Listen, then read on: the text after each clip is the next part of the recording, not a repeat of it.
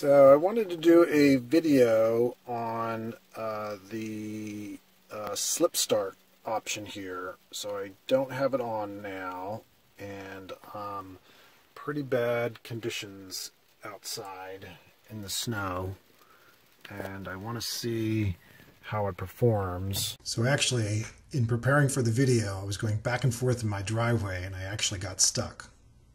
So if I put it in drive, seems to uh, jump around a little bit. Let's try it again. Yeah, so what happens um, is that you press the power pedal, um, but it doesn't spin the wheels.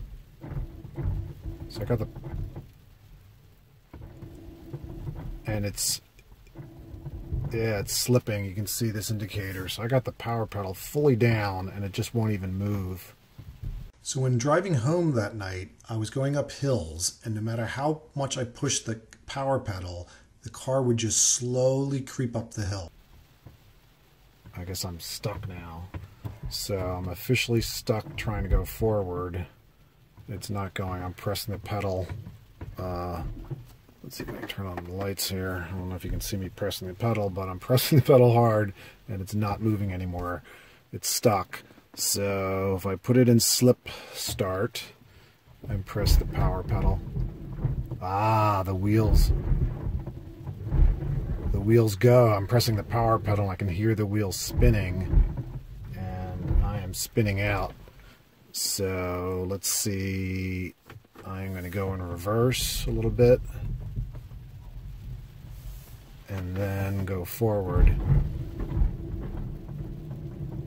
And it's spinning, spinning, spinning. So in slip start, uh, the wheels will just spin based upon how much pressure you put on the power pedal.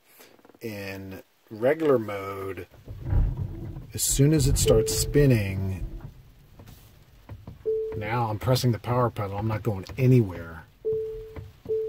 It, it sort of knows it's, I guess it senses that the wheels are going to spin, so it doesn't allow you to spin turn this on, press the power pedal, you can hear it, my wheels spinning. So slip start uh, basically turns off the automatic traction control and basically allows you to just continue to spin your wheels uh, when you have it on uh, to possibly get out of uh, a tough situation.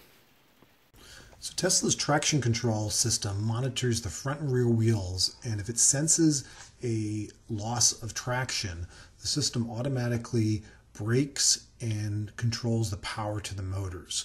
Um, you can disable the traction control through the slip mode, and it simply allows the wheels to spin.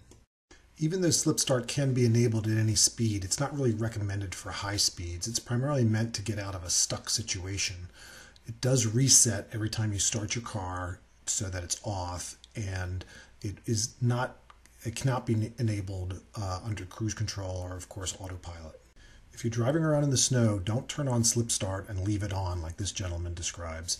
It really should only be used for a short period of time to help you get out of a stuck situation. Since it basically turns off traction control, it can be dangerous for normal driving situations. Let's see how all this works. Here we're looking inside the Tesla, the electric motors on the left, and it's connected to a single speed transmission. Electric cars don't need complex transmissions with multiple gears. You can get away with a single speed because the electric motor can adjust its speed so widely. The Tesla transmission is connected to an open or standard differential. This is used to allow the outer wheel on a turn to spin faster than the inner wheel whenever you're turning.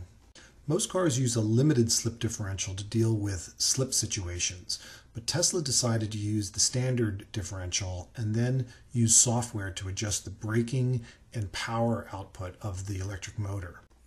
A limited slip differential is a mechanical way of dealing with wheel slippage, and it's a more expensive solution. Uh, Tesla was able to uh, use a standard differential and smart software to create a virtual limited slip differential. This then allowed Tesla to offer a slip start option by simply not applying the brakes and not reducing the power when it sensed the uh, wheel spin. It's pretty cool because it was all done through software.